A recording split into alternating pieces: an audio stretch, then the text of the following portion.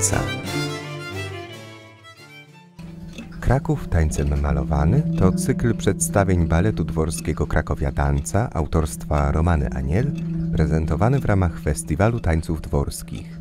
Spektakle taneczne, dla których inspiracją stały się najważniejsze zabytki i dzieła sztuki Krakowa, przenoszą nas do najpiękniejszych i najbardziej znanych miejsc naszego miasta. Sztuka ludwisarska w Polsce ma niezwykle długą i bogatą tradycję. Wiemy, jak powstają dzwony, jak się rodzą, a jak tańczą dzwony. To jest właśnie nasza opowieść.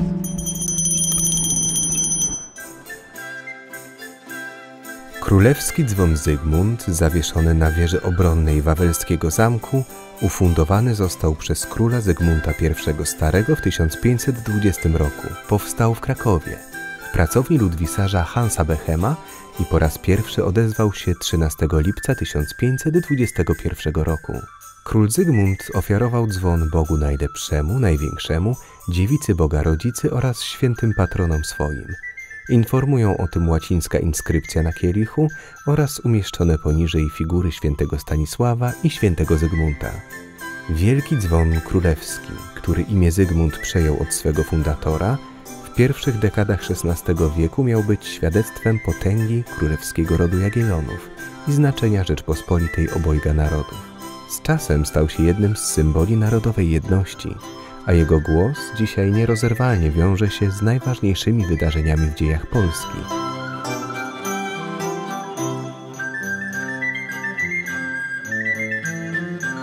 Nasz spektakl Kiedy tańczą dzwony inspirowany jest dzwonem Zygmunta, historią jego powstania, ale też występują w nim dzwonnicy. Panie Andrzeju, jest Pan członkiem wspólnoty dzwonników e, wawelskich. Proszę powiedzieć, jak to jest dzisiaj być dzwonnikiem e, dzwonu Zygmunta? No, muszę powiedzieć, że dzwonnikiem jestem już od 40 lat. My w czasie dzwonienia koncentrujemy się na bezpieczeństwie, bo ten dzwon wielki, ponad 12-tonowy, e, pędzi tutaj z wielką szybkością i my musimy się koncentrować na tym, żeby po pierwsze dobrze dzwonić, a po drugie bezpiecznie dzwonić.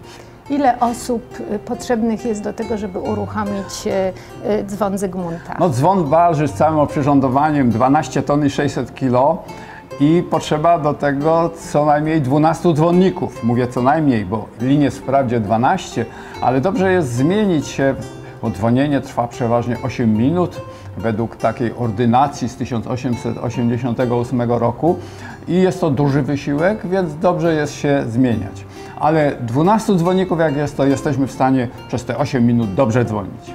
Y, taniec jest y, sztuką y, dyscypliny ruchu. Ważna jest koordynacja, ważne jest wspólne działanie i chyba podobnie jest właśnie, kiedy, kiedy razem dzwonicie. Jak to jest? Czy, czy razem oddychacie? Jakie, czy dajecie sobie jakieś znaki, komendy? Jak, jak to wygląda? Tutaj sprawa jest o tyle prosta, że ten ruch jest wymuszany przez dzwon. Dzwon jest takim ogromnym wahadłem, jak w zegarze. I to wahadło, bez względu na to, jak daleko się wychyla, e, zawsze w jednakowym czasie te wychyły następują. I również w ten sam sposób dzwon jakby e, nami kieruje. My tylko w odpowiednim momencie musimy pociągnąć, żeby nadać mu tą e energię, a on już w, w odpowiednim czasie się wychyli w jedną i w drugą stronę. I ten czas wychyłu w jedną stronę trwa sekundę i 60, a więc y, na 3 sekundy i 2 dziesiąte przypadają dwa uderzenia. I ten rytm jest trzymany przez dzwon, a my tylko go napędzamy. Proszę sobie wyobrazić, że ta huśtawka, do której liny napędowe są przymocowane, biegnie 3 metry w górę, 3 metry w dół, więc ten ruch jest 6-metrowy i ta lina raz nas wyciąga w górę, a raz zwija nam się pod nogami, więc musimy patrzeć głównie na liny, żeby nie doszło do jakiegoś wypadku. Gdy zaczynamy dzwonić, to stopniowo ten dzwon coraz wyżej, coraz wyżej się y, podnosi do góry. I pierwsze uderzenie już po ośmiu takich pociągnięciach z każdej strony może serce z dzwonu wydobyć. Ale żeby dzwon dzwonił równo, rytmicznie, to musi w każdą stronę wychylić się o 60 stopni. To jest bardzo dużo, dlatego potrzeba aż tylu dzwonników, żeby ten dzwon dobrze dzwonił. Jest nas w sumie 25 dzwonników około, bo różnie to bywa. I mamy pięciu uczniów również, którzy się szkolą na dzwonniku. Na początku trzeba przyjść, popatrzeć, potem dostaje się linej pod y, opieką starszego jakiegoś dzwonnika. Uczeń się przygotowywuje, aby po trzech latach dostać odznakę i być y, pełnoprawnym y, dzwonnikiem. Czy y, dzwonnicy muszą być też przygotowani fizycznie, muszą utrzymywać się w formie, trochę tak jak tancerze. Wchodziliśmy tutaj po schodach, mieliśmy taką rozgrzewkę, 68 stopni. 68 tak? schodów, e, takich wysokich, tak, podwójnych. Wysokich, więc trochę już jesteśmy rozgrzani, ale czy kiedy przyjmujecie młodych, e, e, adeptów, czy też patrzycie na to, e, czy to są zdolni dzwonnicy pod kątem fizycznym? Oczywiście y, przekazujemy dzwonowi swoją energię, dlatego y, ważne jest, żeby nie tylko uważać, ale również bardzo dużą siłą działać tutaj. No i staramy się oczywiście, żeby ci nowi adepci byli też sprawni fizycznie i no, w przyszłości dużą energię oddawali temu dzwonowi, bo od tego zależy jakość dzwonienia. Wiem, że Pan też e, opiekuje się technicznie e, dzwonem Zygmunta. Czy on musi być jakoś specjalnie przygotowany? To wiele lat, prawda, takiej opieki nad, nad dzwonem Zygmunta. No dzwon jest oprócz tego, że jest instrumentem muzycznym, przedmiotem liturgicznym, to jest przedmiotem technicznym, maszyną taką. To jest taka postać wahadła, nawet podwójnego wahadła, bo jednym wahadłem jest sam dzwon, drugim jest jego serce. Dzwon jest mocowany na łożyskach, ma wiele elementów technicznych i tym trzeba się opiekować jak maszyną. No, opieka była przez cały czas prowadzona, no bo dzwon by trzymał 500 lat. Ale raz w roku wykonujemy bardzo szczegółowy przegląd, wtedy dokręcamy wszystkie śruby, a jest ich 101. 101 śrub. 101 śrub, No, imponujące. do tego 32 gwoździe, 32 klamry i to wszystko musimy raz w roku sprawdzić, dokręcić. No i dlatego ten dzwon tak nam się dobrze sprawuje tutaj. Ten dźwięk, który jest wydobywany z dzwonu, to on w zasadzie y, jest tworzony w naszym umyśle. Dźwięk dzwonu, y, który składa się z wielu tonów składowych, jest przekształcany przez nasz umysł i powstaje jako zjawisko słuchowe. Gdy badania były komputerowe robione, to można tylko poszczególne tony nagrać. Natomiast ten y, dźwięk wynikowy powstaje w naszym umyśle. I w związku z tym, jeżeli nasz umysł jest wesoły, radosny, bo jest jakaś ku temu e, okazja, no to wydaje nam się, że ten dzwon tak dzwoni, bo faktycznie tak go odbieramy. Gdy okoliczność jest smutna, no to nasz umysł ten poszczególne tony e, przekształca na dźwięk taki żałobny, dostojny.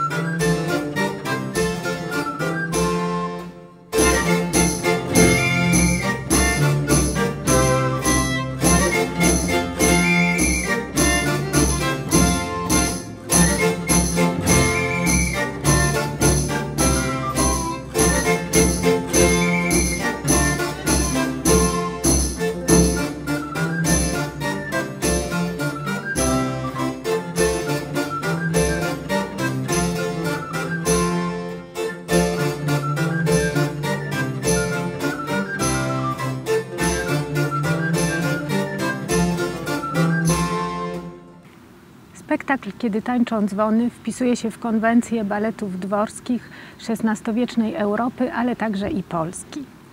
Opowiada historię, kiedy na dwór króla Zygmunta I przyjeżdża Hans Beham i prezentuje makietę dzwonu Zygmunta.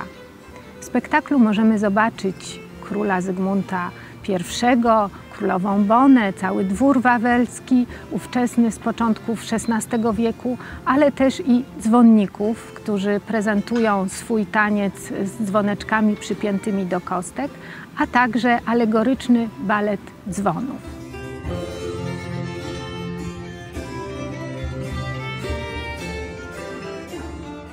Tak jak w innych spektaklach e, z XVI wieku, tak i tym przedstawieniu prezentowane są najważniejsze formy taneczne z epoki, które były obecne w repertuarze tańców na dworze wawelskim.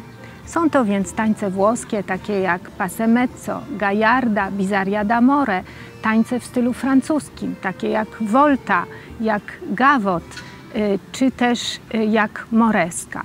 I wreszcie alegoryczne balety, których repertuar, których muzyka wzięta jest z baletu królowej z XVI wieku jest to aria della Campanella. W spektaklu prezentujemy również tańce w stylu polskim. Są one oparte na zapisach muzycznych, zapisach y, z tabulatury Jana z Lublina, y, takie formy taneczne jak na przykład reks czy taniec hajducki.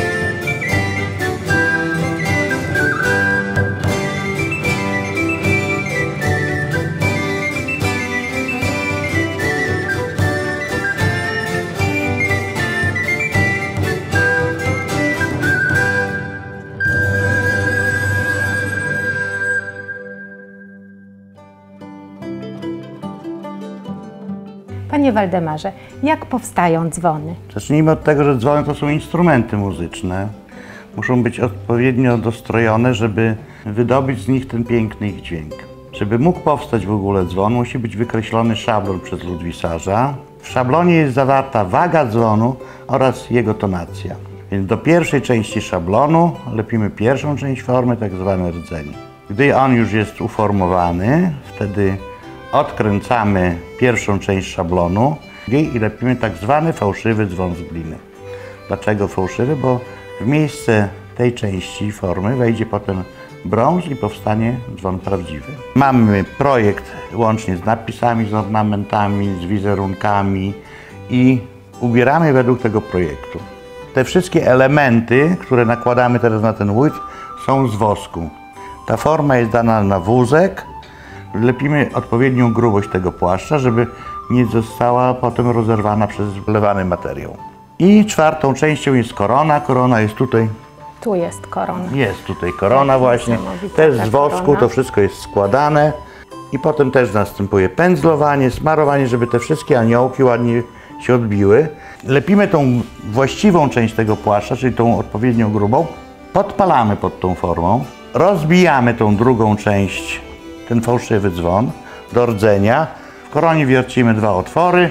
Tutaj wiercimy otwór jeden wlewowy, drugi odgazowujący formę i wtedy dajemy do jadmy odlewniczej. Od pieca budujemy odpowiednią rynnę z cegieł i są zatyczki. Podnosi się te zatyczki i materiał napływa do formy. I tak się rodzi dzwon. E, Wasze dzwony można rozpoznać, są naprawdę unikatowe i zawsze wiadomo, że ten dzwon, jak się go słyszy, to, to, to właśnie bardzo. jest e, e, z Waszej pracowni. Bardzo dużą uwagę przy, przykładamy właśnie do tonacji. Yy, tak jak instrumenty różne się stroi, a dzwon to jest instrument perkusyjny, ale, ale instrument, więc też go się stroi. Jeżeli ucieknie nam z tonacji, wtedy odpowiednio szlifujemy w odpowiednich miejscach od środka dzwon, żeby naskoczył na swój yy, właściwy ton. No mnie za, zafascynowały też te nazwy poszczególnych e, elementów e, dzwonu. Mówił Pan o koronie, jest płaszcz, ale jest też kryza. To wszystko to są takie Tak. nazwy związane trochę ze strojem, z kostiumem renesansowym. A proszę powiedzieć, co to jest ta kryza? To mnie bardzo Kryza to jest interesuje. tutaj ta część, y, gdzie y, dzwon jest najgrubszy. To jest tak zwany, gdzie, gdzie jest wydobywany ten ton uderzeniowy, czyli uderza w niego serce i musi uderzać w najgrubszą część dzwonu. Jeszcze powiem o sercach, bo serca to jest też y, bardzo ważny element przy dzwonie. Tak jak dla nas, prawda, że żyjemy, to też Bije, tak samo serce dzwon żyje. bije też. Tak jest. Tak jest. I y, musi być zrobiony ze stali miękkiej, odpowiedniej, żeby szybciej zużywało się serce niż czasza dzwonu. To jest bardzo istotne, bo ten brąz, który my produkujemy tutaj według własnej receptury, jest bardzo twardy, więc Ma trwać na wieki. ma, i ma, ma przetrwać wieki. Tak. Więc lepiej, żeby to serce żelazne się szybciej zużywało niż. Niż Serce można cza- wymienić. Tak, tak, serce można wymienić. A z dzwonem gorzej. Każdy, kto tam prawda, mieszka gdzieś w jakiejś społeczności, to dzwony słyszał i, i widział. Więc y, one są towarzyszem naszego życia po prostu. jesteście blisko, najbliżej. Tak, dlatego, dlatego bardzo dużą uwagę zwracamy na e, ton dzwonu, na to dostrojenie, gdyż jeżeli by był dzwon niedostrojony, to on będzie drażnił ludzi. Jeżeli ma piękny, ten wydobywający się z siebie ton, to on wtedy łagodzi. Im większy dzwon, tym jest niższy dźwięk. Czy y, od razu się wie, że dzwon będzie udany? Że będzie. Tak, jeżeli Tak? tak, to od razu po odlewie. No oczywiście zawsze towarzyszą nam emocje, bo to jest forma gliniana, nie zapominajmy. Ona musi być odpowiednio wysuszona, bo jakby było dużo wilgoci, czy trochę wilgoci nawet w, formie, to y, mogłoby dojść do zerwania tej formy. Także tutaj, a to jest, y, wlewamy stop, który ma powyżej tu 1100 stopni Celsjusza, także to i są przy tym ludzie, także musimy to dbać o to, żeby to było wszystko odpowiednio dopilnowane. Yy, No ludwisarz to jest taki kiedyś, prawda, zawód królewski, że jeździł za królem, w czasie pokoju lał dzwony, a w czasie wojny armaty.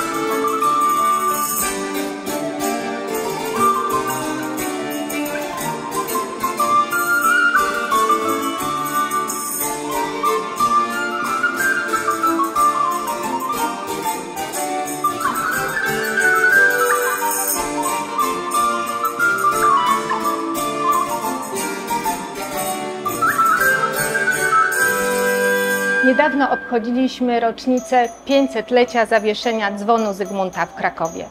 Ale w zeszłym roku odbyła się jeszcze inna istotna, ważna uroczystość. Na wieży ratuszowej zawieszono ponownie dzwon gwałtowny, który otrzymał imię Bolesław.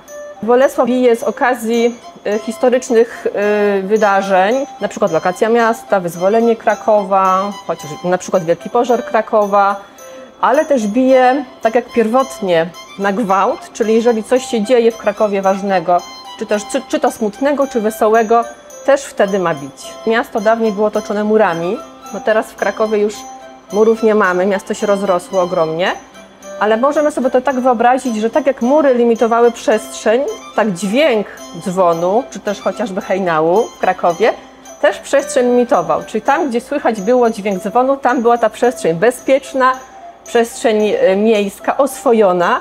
Stąd też to przysłowie sub una campana, czyli pod jednym dzwonem. Kiedyś był to termin prawny, który oznaczał dosłownie podleganie tym samym prawom, obowiązkom, przywilejom. No teraz jest to już bardziej przysłowie, ale to jest też taki wydźwięk tej wspólnototwórczej roli dzwonów. Życie pod jednym dzwonem, właśnie w ramach jednej społeczności, jednej wspólnoty. Tu mówimy o wspólnocie krakowian i krakowianek. Czy Kraków jest miastem dzwonów? Bez wątpienia jest miastem dzwonów, nawet był tak e, określany jako miasto starych dzwonów.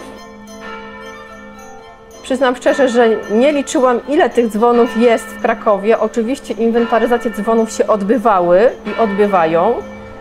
Te studia nad dzwonami, nad tematyką dzwonową wracają.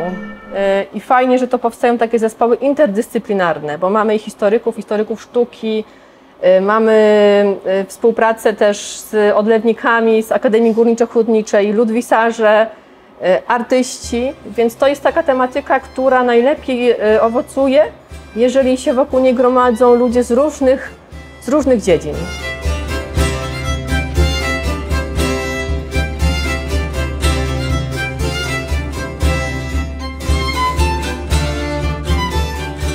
Oprócz tańców, które wpisują się w repertuar tańców dworskich, możemy też zobaczyć tańce, które bardziej odpowiadają stylowi baletto. Spektakl zakończony jest tańcem, który został ułożony do pieśni kanonu, bardzo modnej wówczas w XVI wieku, pieśni Panie Janie, która była śpiewana, która była wykonywana w różnych krajach europejskich. Panie Janie, Panie Janie, rano wstań, rano wstań, wszystkie dzwony miają, wszystkie dzwony miają.